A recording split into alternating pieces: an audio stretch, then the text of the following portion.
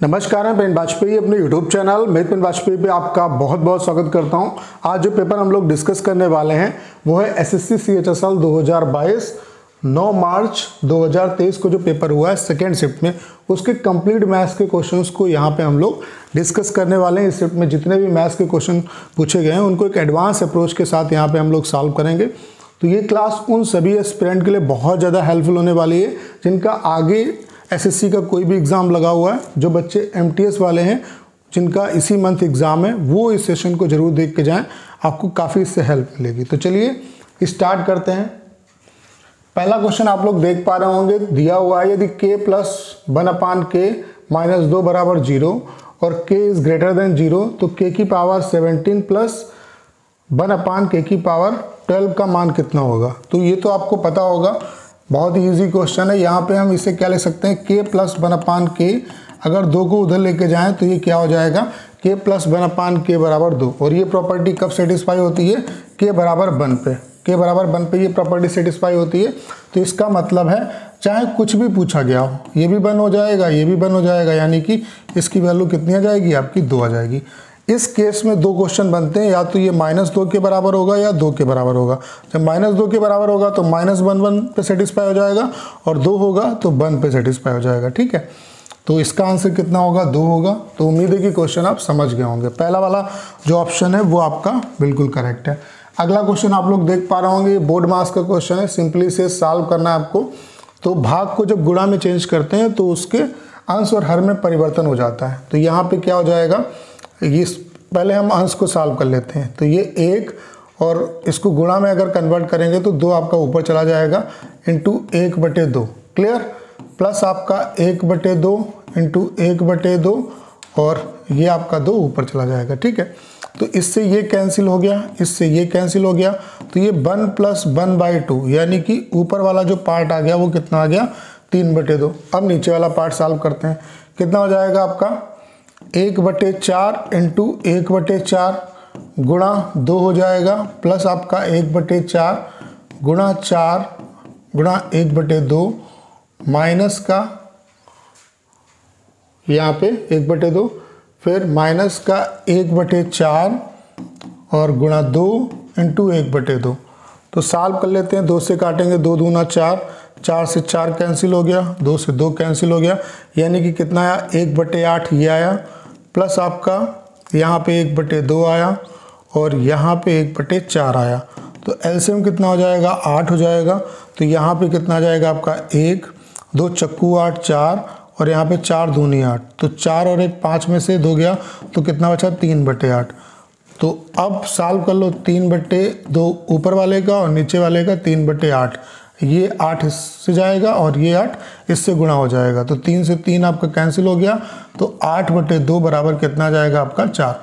बस यहाँ पे सॉल्व करना और कुछ भी नहीं है, ठीक है? तो सिंपल है क्वेश्चन और इसकी कंप्लीट पीडीएफ आपको हमारे टेलीग्राम चैनल पे मिल जाएगी। तो टेलीग्राम जो चैनल है, उसका लिंक डिस्क्रिप्शन में दिया हुआ है। वहाँ से आप उसे ज्वाइन कर सकते हैं। देखो, अगला क्वेश्चन यहाँ पे दिया हुआ है, यदि x की power four plus one upon x की पावर फोर बराबर 47 है तो x cube plus one upon x cube निकालना है। तो सबसे पहले आपके दिमाग में आना चाहिए कि इसको निकालने के लिए पहले आपको x plus one upon x निकालने की ज़रूरत पड़ेगी, ठीक है? तो वो कैसे निकलेगा? ऐसे क्वेश्चन को सॉल्व करने के लिए बस एज्यूम करो कि इसे हम x plus one upon x तक हमें पहुँचना है, ठीक है? तो अगर हम दोनों तरफ़ दो जोड़ दें तो ये क्या हो जाएगा? X square plus one upon x x square plus one upon x square का होल ऑफ़ स्क्वायर बराबर कितना आया? उनचास. तो उस पर अंडर रूट ले लेंगे तो आपका x square plus one upon x square की वैल्यू कितनी हो जाएगी? सात. समझ में आया?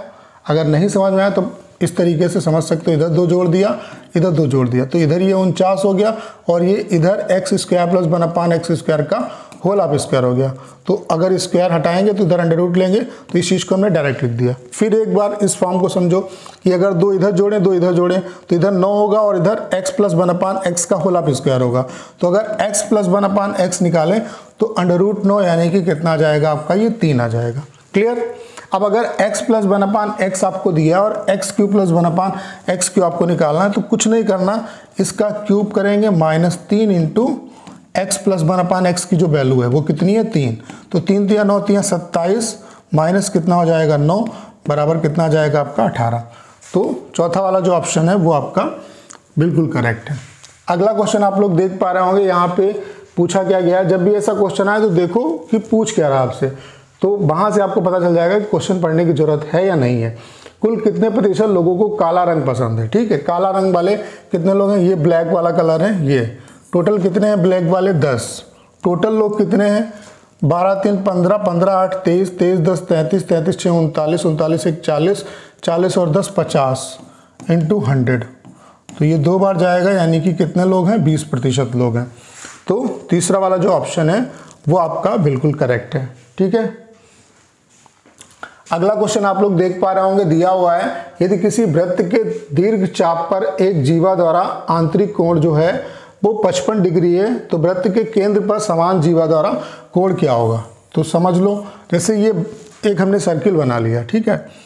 अब दीर्घ वृत्त खंड क्या कहलाता है? जैसे अगर हम एक जीवा खींचे तो ये छोटा वाला जो खंड है, ये क्या कहलाएगा? लघु वृत्त खंड। और ये ऊपर वाला क्या कहलाएगा?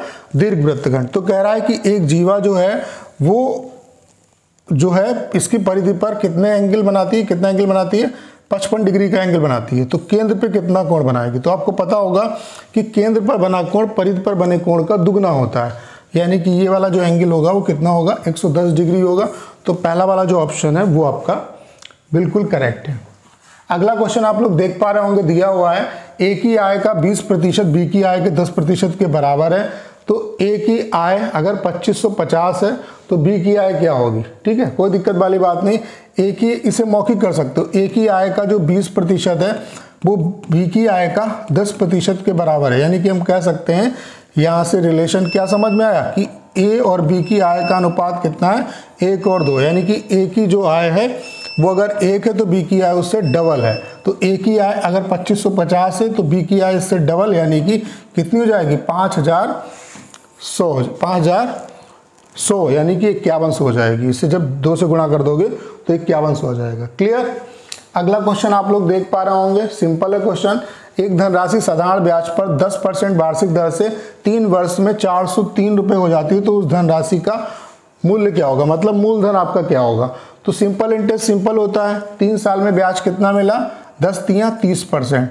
तो सौ परसेंट धनराशि और तीस परसेंट ब्याज, यानी कि टोटल मिश्र धन कितना हुआ? एक सौ तीस परसेंट। क्वेश्चन में कितना दिया है? चार सौ तीन। तो मिश्र धन की जो वैल्यू है, वो कितनी दी है? चार सौ तीन। आपसे मूलधन पूछा है, यानी कि सौ परसेंट की वैल्यू पूछा है। तो चार सौ तीन बटे एक सौ तीस इंटू कितना हो जाएगा आपका? हंड्रेड हो जाएगा। तो ज़ीरो से ज़ीरो कैंसिल हुआ। तेरह तिया उनतालीस, तेरह इक्कन तेरह, यानी कितना जाएगा आपका? तीन सौ दस। तो पहला वाला जो ऑप्शन है, वो आपका बिल्कुल करेक्ट है। अगला क्वेश्चन आप लोग देख पा रहे होंगे। क्वेश्चन दिख रहा होगा आपको। नहीं दिख रहा है थोड़ा नीचे कर लेते हैं। दिख रहा होगा वैसे। चलिए। क्या दिया हुआ है? कॉस बी की जो वैल्यू है, वो पाँच बटे नौ है। तो कॉसिक बी क्या होगा? तो आपको पता है कॉस साइन ये सब क्या है? समकोण त्रिभुज के रेशियो हैं, ठीक है? तो कॉस बी ये एंगल अगर हम बी मान लें तो कॉस बराबर क्या होता है? आधार बटे कर्ण तो आधार इसका पाँच हो गया और कर्ण कितना हो गया नौ हो गया, ठीक है? तो इसका लंब कितना हो जाएगा? इसका स्क्वायर यानी कि इक्यासी और माइनस इसका स्क्वायर पच्चीस। तो ये कितना हो जाएगा आपका? ग्यारह में से पाँच गया तो कितना बचा छः और यहाँ पे सात में से दो गया तो कितना बचा पाँच? छप्पन हुआ। तो चौदह चक्कू छप्पन होता है, यानी कि दो अंडर रूट चौदह हो गया, ठीक है? अब कौशिक बराबर क्या होता है आपका? कर्ण बटे लंब। तो कर्ण बटे लंब यानी कि कितना हो जाएगा आपका? कर्ण कितना है? नौ। और लंब कितना आ गया आपका? दो अंडर रूट चौदह। तो कौन सा ऑप्शन करेक्ट है? जो चौथा वाला ऑप्शन है, वो आपका बिल्कुल करेक्ट है। अगला क्वेश्चन आप लोग देख पा रहे होंगे, कुछ नहीं करना है इसमें, आपको देख के लग रहा होगा कि देखो टेन को हम लोग क्या लिख सकते हैं? साइन बटे कॉस लिख सकते हैं। लिख सकते हैं या नहीं लिख सकते? हैं माइनस साइन, ठीक है? ऐसे ही नीचे क्या लिख सकते हैं? साइन बटे साइन बटे कॉस और प्लस साइन लिख सकते हैं। अगर साइन कामन ले लेंगे तो वन अपान कॉस को हम लोग क्या लिखेंगे? सेक ए माइनस का वन और नीचे सेक ए प्लस वन हो जाएगा। यानी कि पहला वाला जो ऑप्शन है, वो आपका बिल्कुल करेक्ट है। अगला क्वेश्चन आप लोग देख पा रहे होंगे, दिया हुआ है, रोहित एक गेंद को सात सौ रुपए में खरीदता है। रोहित इस गेंद पर ग्राहक को 20 परसेंट और 40 परसेंट के दो क्रमागत बट्टे देता है। गेंद का विक्रय मूल्य क्या होगा? सिंपल है, सात सौ रुपए की चीज़ है। बच्चों वाला क्वेश्चन है, बीस परसेंट का डिस्काउंट यानी कि अस्सी बट्टे सौ और फिर चालीस परसेंट का डिस्काउंट यानी कि साठ बट्टे सौ। तो दो ज़ीरो से दो ज़ीरो कैंसिल हो गए दो ज़ीरो से दो ज़ीरो कैंसिल हो गए आठ छंग अड़तालीस अड़तालीस सत्ते कितना हो जाएगा? आठ सत्ते छप्पन। यानी कि वो ऑप्शन करेक्ट होगा जिसके लास्ट में छः है। एक ही ऑप्शन ऐसा है जिसके लास्ट में छः दिया हुआ है तो ये वाला आपका करेक्ट हो जाएगा, ठीक है? अगला क्वेश्चन आप लोग देख पा रहे होंगे, दिया हुआ है, एक कार जो है वो 40 किलोमीटर की दूरी 24 मिनट में तय करती है। यदि कार की चाल 40 किलोमीटर प्रति घंटा घटा दी जाए तो कार द्वारा यह दूरी तय करने में कितना समय लगेगा? देखो, दूरी बराबर क्या होता है? चाल गुणे चाल गुणे समय। ठीक है, अगर ये वैल्यू कांस्टेंट है, इन दो का प्रोडक्ट अगर कांस्टेंट है, इसका मतलब है, अगर चाल का अनुपात b1 और b2 है तो टाइम का अनुपात इससे उल्टा होगा। कहने का मतलब ये है कि अगर चाल का अनुपात मान लेते हैं, तीन अनुपात चार है तो समय का अनुपात चार और तीन होगा। तभी ये दोनों का प्रोडक्ट कांस्टेंट हो पाएगा, चार तियाँ बारह, चार तियाँ बारह। ये बात आपको समझ में आ गई? अब ये बात मैं आपको क्यों बता रहा हूँ? अभी आपको उसका रीज़न समझ में आ जाएगा, ठीक है? यहाँ पे देखो, अगर हम इसकी चाल निकालें तो चाल कितनी हो जाएगी? चाल बराबर दूरी बटे समय, यानी कि 40 बटे 24 और इसको घंटे में अगर चेंज करोगे तो अभी चौबीस बटे साठ होगा, साठ ऊपर चला जाएगा। तो चार छंग चौबीस छः दशामल साठ, यानी कि इसकी चाल कितनी है? पहले चाल कितनी थी? सौ। और फिर चालीस किलोमीटर पर घंटा कम हो गई, यानी कि अब चाल कितनी हो गई? साठ किलोमीटर पर आवर। तो चाल का जो अनुपात है वो कितना है? पाँच अनुपात तीन है। दूरी कांस्टेंट है तो टाइम का अनुपात तीन और पाँच होगा। ये बात क्लियर? अब यहाँ पे इस सौ चाल में टाइम कितना लग रहा है? चौबीस मिनट, यानी कि तीन रेशियो की जो वैल्यू है वो कितनी है? चौबीस। तो एक रेशियो की वैल्यू कितने के बराबर? आठ के बराबर। तो ये पाँच रेशियो की वैल्यू पाँच इंटू आठ, यानी कि आठ पंचे चालीस हो जाएगा। क्लियर? और अगर इनके बीच का डिफरेंस पूछे तब भी बता सकते हो। दो। कुछ भी पूछे आप बता सकते हो, ठीक है? तो समझ में आ गया होगा। अगला क्वेश्चन आप लोग देख पा रहे होंगे, दिया हुआ है। एक लंबवृत्तीय शंकु के आधार की जो परिधि है वो 88 सेंटीमीटर है। यदि शंकु की ऊंचाई जो है वो 28 सेंटीमीटर है तो शंकु का वक्र पृष्ठीय क्षेत्रफल क्या होगा? शंकु आपको पता होना चाहिए कैसे बनता है। जब समकोण त्रिभुज को या तो इसके आधार के परिता घुमाएँगे तो आपका शंकु इस तरीके से बन जाएगा, या इसकी ऊंचाई के परिता इस तरीके से घुमाएँगे। एक आपका नीचे बनेगा मतलब अगर हम इसके परिता, अगर हम इसके परिता घुमाएँगे, मान लेते तो इस तरीके से बनेगा, और इसके परिता घुमाएँगे मतलब दो तरीके से बनता है। या तो ऊंचाई के परिता घुमाओगे या आप आधार के परिता घुमाओगे, ठीक है? जैसे इसके परिता अगर हम घुमाएँगे इस तरीके से तो इस तरीके से आपका बनेगा शंकु, ठीक है? अगर आधार के परिता घुमाएँगे। अगर ऊंचाई के परिता घुमाएँगे तो इस तरीके से बनेगा। क्लियर यानी कि शंकु कब बनता है? जब शंकोर त्रिभुज को या तो आधार या तो हम ऊंचाई के परिता घुमाते हैं तो समकोण त्रिभुज, जो शंकु है वो ड्रा होता है, ठीक है? तो अब यहाँ पे दिया हुआ है लंबवती शंकु के आधार की जो परिधि है, वो कितनी है? अब इस तरीके से एक शंकु बना हुआ है, ठीक है? समझाने के लिए बता रहा हूँ, बाकी इसमें कुछ है नहीं, ठीक है? इसकी ऊंचाई कितनी है? अट्ठासी, अट्ठाईस है, ठीक है? आधार की परिधि, आधार तो एक सर्किल है तो यानी कि टू पाई आर की जो वैल्यू है, वो कितनी है? अट्ठासी है। तो दो इंटू बाईस बटे सात इंटू आर बराबर अट्ठासी। तो 22 से काटेंगे, दो बार जाएगा। बाईस दूनी चवालीस, दूनी अट्ठासी होता है तो आर बराबर कितना आ गया? चौदह। तो ये वैल्यू जो है वो कितनी हो गई? चौदह।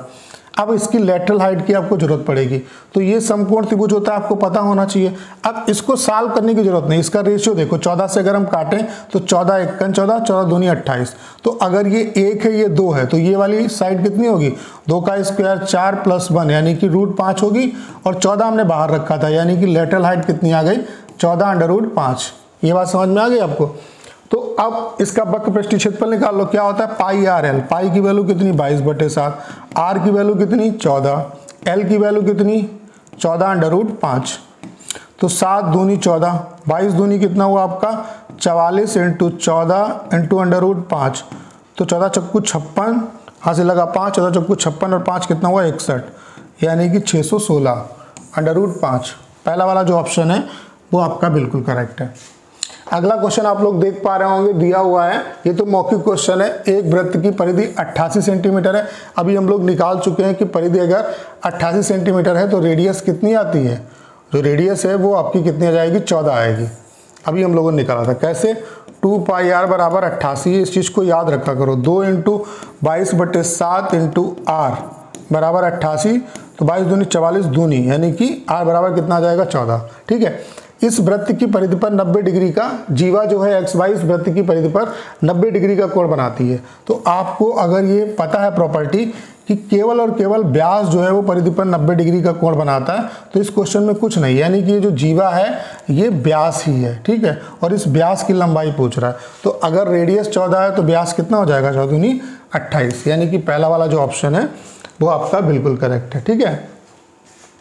अगला क्वेश्चन आप लोग देख पा रहे होंगे, यहाँ पे दिया हुआ है, व्यंजक जो है इस तरीके से, इसमें 100 पद हैं, इसका मान क्या होगा? देखो, अगर इन दो पद को सॉल्व करें तो माइनस वन आ रहा इन दो पद को सॉल्व किया, फिर माइनस वन यानी कि दो से हमें दो पदों को सॉल्व करने पर माइनस वन एक दे रहा है, ठीक है? तो 100 पदों को सॉल्व करने पर 50 बार माइनस वन आएगा। यानी कि इसका जो आंसर होगा, वो क्या हो जाएगा? माइनस पचास होगा, ठीक है? बाकी इसमें बहुत ज़्यादा दिमाग लगाने की ज़रूरत आपको नहीं है, ठीक है? अगला क्वेश्चन आप लोग देख पा रहे होंगे, दिया हुआ है कि 6 सेंटीमीटर त्रिज्या वाले दो वृत्त एक दूसरे को इस प्रकार से थोड़ा सा इसे नीचे कर लेते, दिख रहा होगा वैसे नॉर्मली 6 सेंटीमीटर त्रिज्या वाले दो वृत्त एक दूसरे को इस प्रकार से प्रतिच्छेदित करते हैं कि प्रत्येक वृत्त एक दूसरे के केंद्र से होकर के गुजरता है तो वृत्त की उभयनिष्ठ जीवा क्या होगी? इस तरीके से दो सर्किल हैं, ठीक है, बना लेते हैं फिगर इसका एक केंद्र है, ठीक है, इसी तरीके से एक और सर्किल है, इसका एक केंद्र है, ठीक है। थोड़ा सा फिगर उतना अच्छा नहीं बना। बाकी आप समझ सकते हो। छः दोनों की रेडियस छः है तो ये वाली जो डिस्टेंस है, ये भी छः होगी। इसको अगर हम इससे मिला दें तो ये भी छः होगी। इसको अगर इससे मिला दें तो ये भी छः होगी। तो ये जीवा जो है, इसकी लंबाई पूछ रहा है। अब आपको पता है कि ये क्या हो जाएँगे? समदिबाहु त्रिभुज। समदिबाहु त्रिभुज में ये क्या होगी? मीडियन होगी, ठीक है? यानी कि ये इसको आधा आधा डिवाइड करेगी। तो अगर ये पूरी छः तो ये तीन हो जाएगी और ये समकोण त्रिभुज बनेगा। तो ये तीन है आपका, ये छः है। तो ये वाली साइड कितनी हो जाएगी? छः का स्क्वायर छत्तीस माइनस नौ। यानी कितना हो जाएगा आपका? अंडर रूट सत्ताईस। अंडर रूट सत्ताईस का मतलब तीन अंडर रूट तीन। तो अगर ये तीन अंडर रूट तीन ये है तो इधर वाली भी तीन अंडर रूट तीन होगी। यानी कि टोटल कितना हो जाएगा? सिक्स अंडर रूट तीन हो जाएगी। तो तीसरा वाला जो ऑप्शन है, वो आपका बिल्कुल करेक्ट है। अगला क्वेश्चन आप लोग देख पा रहे होंगे। थोड़ा सा इसे भी नीचे कर लेते हैं। वैसे दिख रहा होगा आपको। दिया हुआ है एक सोसाइटी के 120 सदस्यों की औसत आयु जो है, वो बासठ पॉइंट फाइव वर्ष है। बासठ पॉइंट कितना है? बासठ पॉइंट फाइव वर्ष है। तीस नए सदस्यों को शामिल करने पर औसत आयु जो है, वो अट्ठावन पॉइंट टू वर्ष हो जाती है तो नए शामिल हुए सदस्यों की औसत आयु क्या होगी? कोई दिक्कत वाली बात नहीं। देखो 120 लोग जो हैं, उनका जो एवरेज है वो कितना है? 62.62.5 है, ठीक है?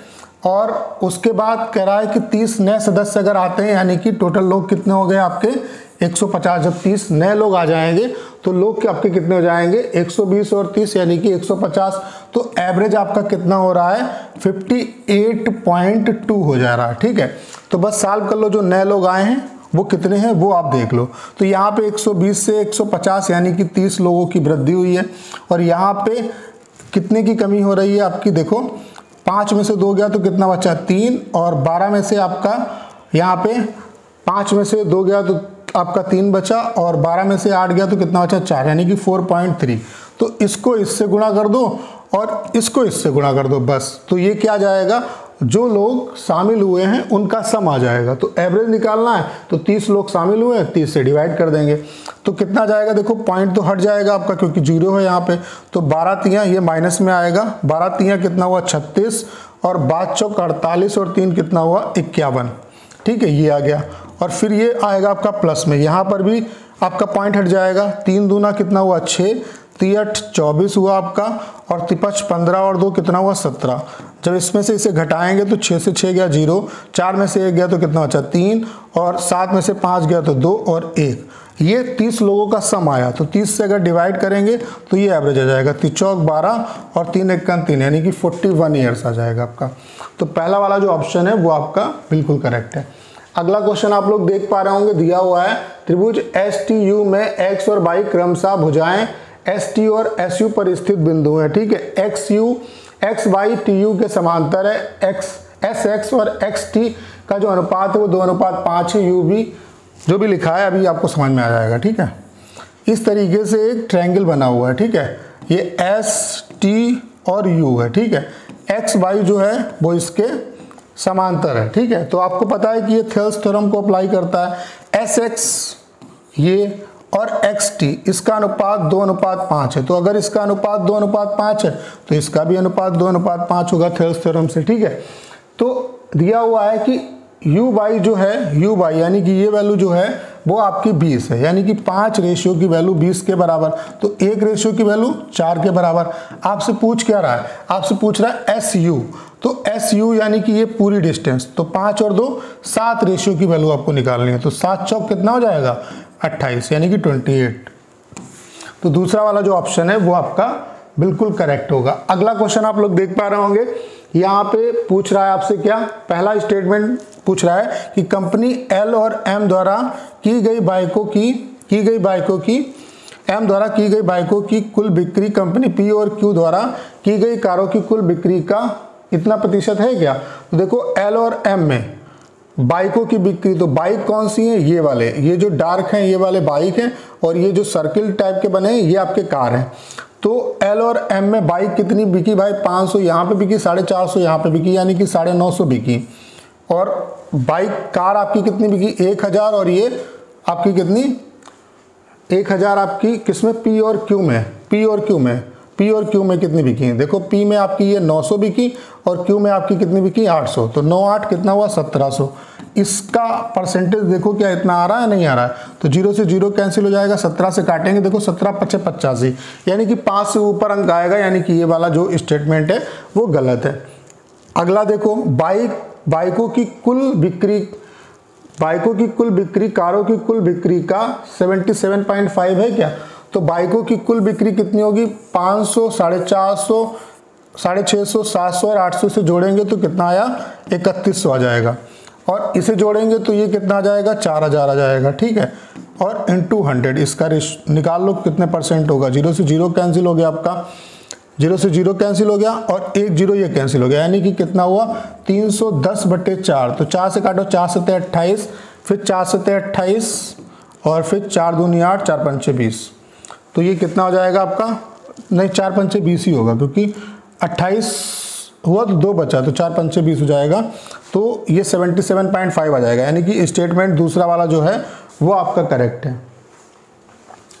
अगला क्वेश्चन आप लोग देख पा रहे होंगे, यहाँ पे पूछा है L1 जो है, वो सभी वर्षों में जे द्वारा कार की, कार का कुल उत्पादन है, और L2 है, जो सभी वर्षों में के द्वारा कार का कुल उत्पादन है। तो इसका डिफरेंस बताना है।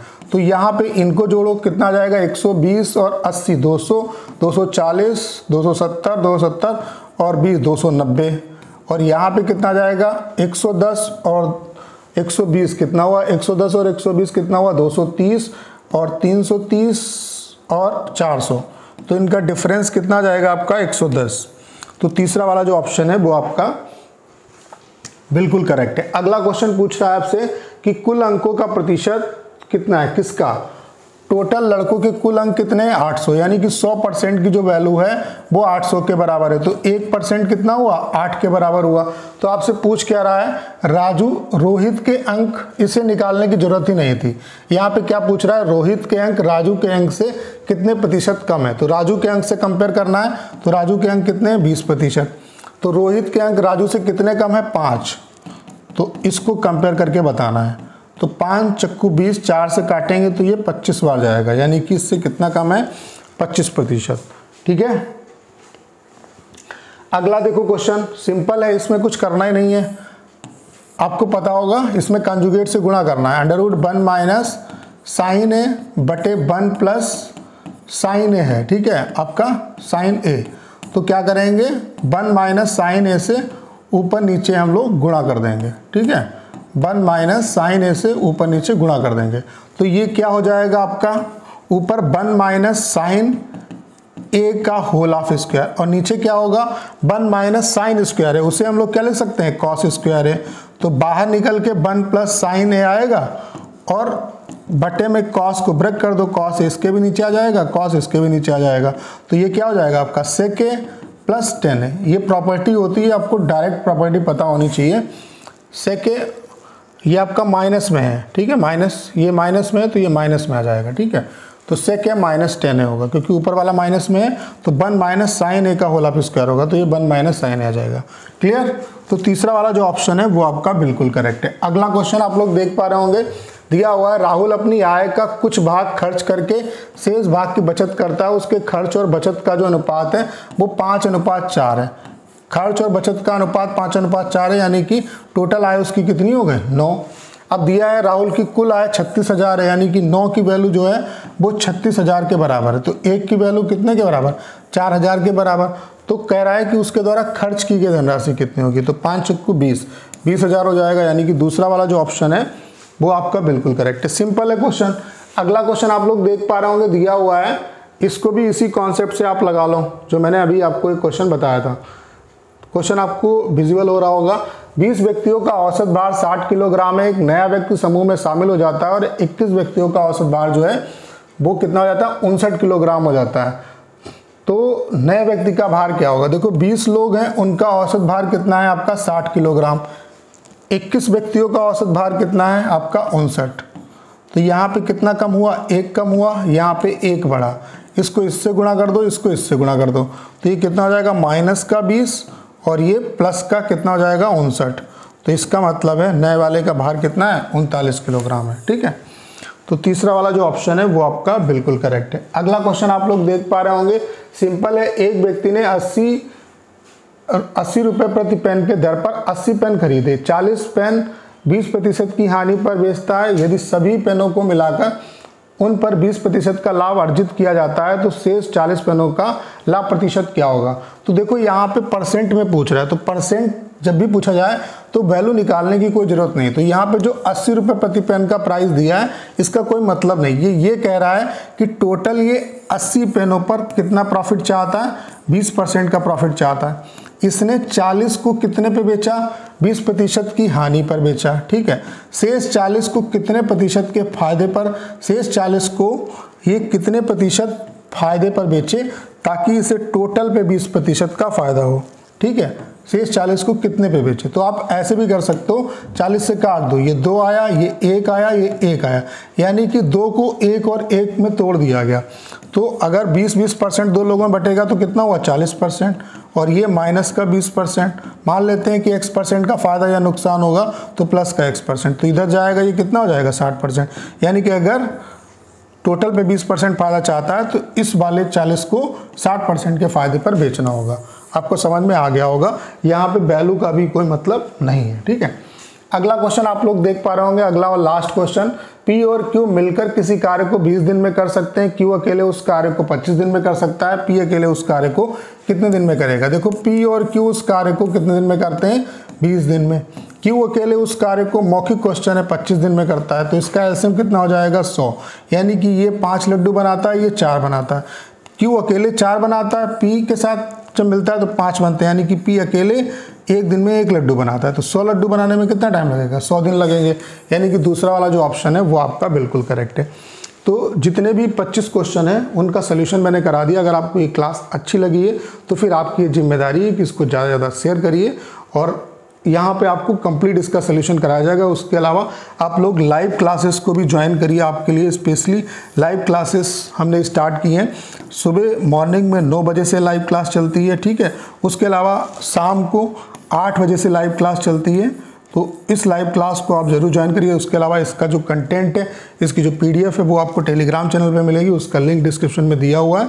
उसको आप ज्वाइन कर लीजिए। वहाँ से आपको सारा कंटेंट फ्री ऑफ़ कॉस्ट मिलता रहेगा। आपको इतना कंटेंट में दे दूँगा कि आपको किसी का कोर्स ज्वाइन करने की ज़रूरत नहीं पड़ेगी। तो करना क्या है? इस वीडियो को ज़्यादा शेयर करना है। उसके अलावा अगर आप चैनल पर नए हैं और आपने अभी तक इसे सब्सक्राइब नहीं किया है तो प्लीज़ चैनल को सब्सक्राइब करना मत भूलिए।